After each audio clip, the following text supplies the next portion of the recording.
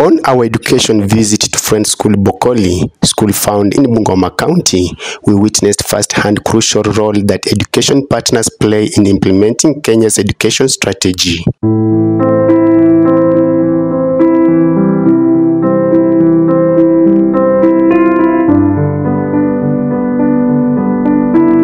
Under the senior principal, Mr. Namsinde Musonye, the school has made a great move in all fields of learning as it was directed by the Ministry of Education. Uh, my name is Musonye Marcelas uh, Namsende, uh, the senior principal, uh, Friends School uh, Bokoli.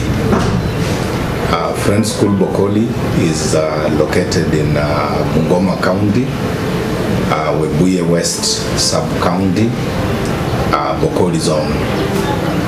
Uh, it is a school that has a total population of uh, students of 1,260. It is an extra county school and it is full boarding.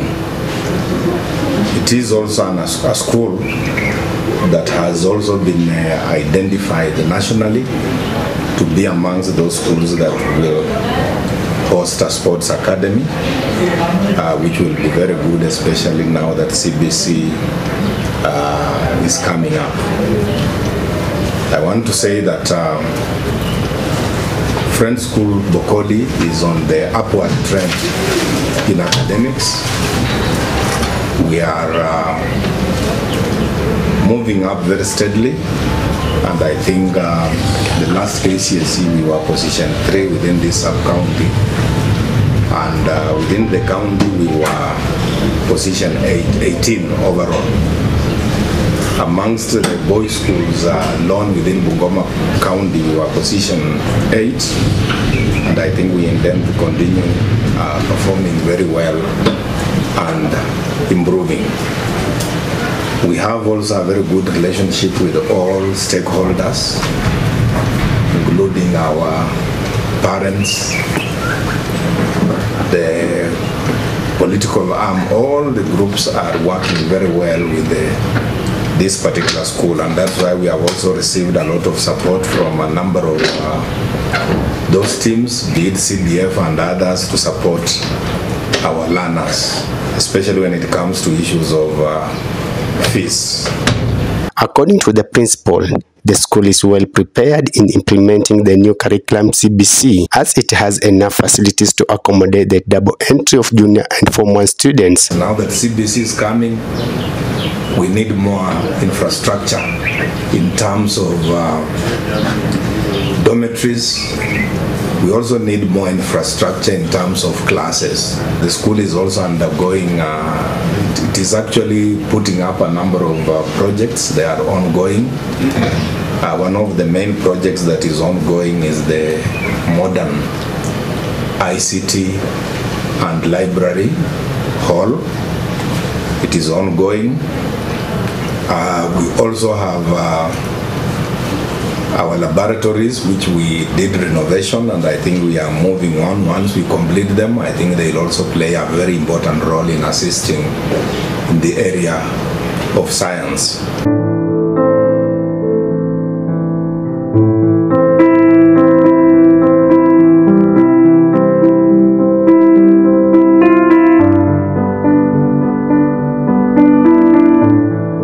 School Bokoli has invested in piggery farming, which has earned the school income.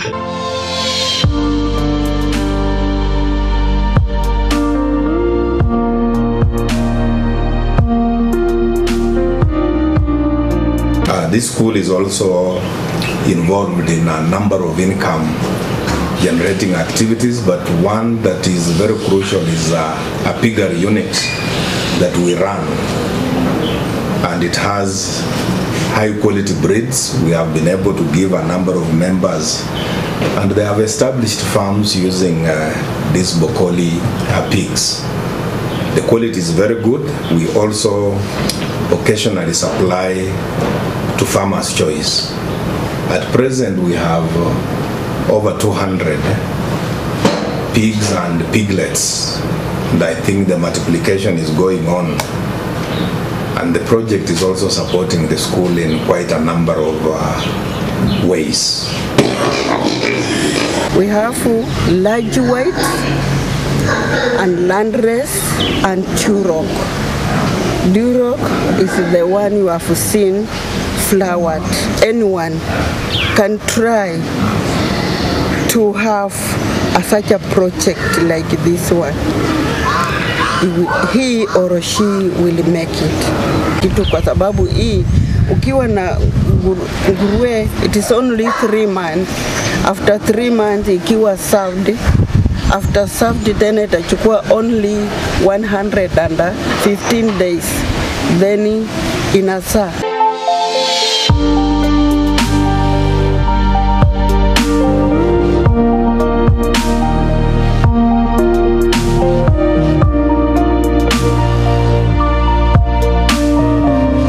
The school also runs a school canteen, which is also income generating. We have uh, some fish bond, which we shall be replenishing soon, so that we also have tilapia available, not just for the learners, but also sometimes for for sale. So to me, I want to say this is a school to be. The population is very, the students are very disciplined.